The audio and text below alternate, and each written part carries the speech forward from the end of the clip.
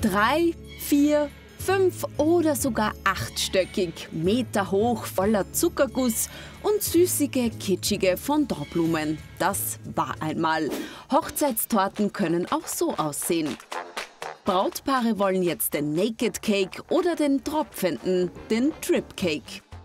Ja, so Naked Cakes sind halt die Torten, die überhaupt keine Hülle mehr haben. Das heißt, äh, das ist einfach die Torte mit der Füllung, mit Früchten, mit Blumen, so wie sie aus dem Ofen kommt und gefüllt ist. Äh, Trip Cakes äh, wäre dann die Version, dass es einfach eine hauchdünne Cremehülle hat und anstatt irgendwelchen Zuckergussverzierungen äh, die Schokotropfen, wie jetzt bei der Torte, über die Torte runterlaufen. Meine eigene Hochzeitstorte, die war eher so wie es halt traditionell sein soll. Ich bin ja schon ein Nächtel verheiratet. Ähm, eher halt trocken, süß, äh, mit Zuckerguss. Und ich habe mir damals gedacht, das kann nicht sein, dass das alles ist, was es gibt und was man machen kann. Ähm, und habe dann äh, mit ganz viel Leidenschaft mich daran gesetzt und äh, versucht, jede Geschmacksrichtung, ob das jetzt was mit Himbeer, mit Banane, jede Konsistenz in Hochzeitstorten reinzupacken.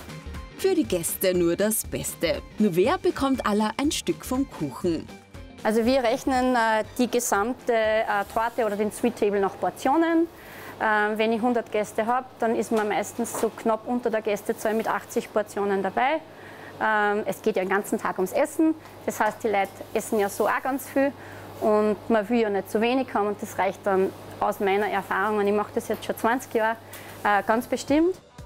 Der Trend geht hin zu kleineren Torten, Sweet Tables und Candy Bars. Es schaut natürlich super aus, wenn man einen ganzen großen Tisch mit ganz viel verschiedenen Geschirr und Etageren herrichtet und drauf halt Cake Pops, äh, Cupcakes oder kleine Kuchen am Stiel. Was auch ein Trend ist, ist individualisierte Sachen, zum Beispiel äh, bedruckte Schokolade oder bedruckte Kekse. Der Anschnitt der Torte. Wer die Hand oben hat, hat auch in der Ehe das Sagen. Und ein Teil der Torte wird dann eingefroren. Es machen nicht mehr so viel, dass sie die Torte für den ersten Hochzeitstag aufheben, aber ganz viel bestellen sie einfach die gleiche Torte wie bei der Hochzeit als Mini-Version für den ersten Hochzeitstag. Und durch das, dass ja die Torten kleiner werden, bleibt ja dann nicht so einfach auch was übrig. Ein halbes bis dreiviertel Jahr vor der Hochzeit kommen Brautpaare zu den Konditormeistern. Dann gibt's ein süßes Probeessen. Skizzen werden erstellt und festgelegt, wie das süße Kunstwerk aussehen soll. Am Tag der Hochzeit wird sie dann angeliefert unfallfrei.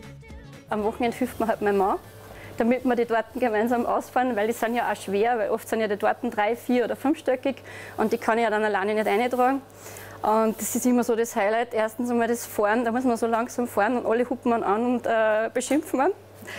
und mein Mann hat einmal eine Vollbremsung machen müssen und dann ist die ganze Torten hinten in der Ladefläche auf der Rückwand geklebt.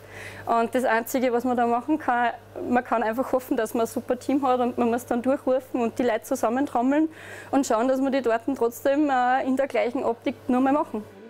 Um die Hochzeitstorte von Herzogin Kate und Prinz William in den Buckingham Palace zu liefern, mussten die Tortenbäcker sogar eine Tür entfernen.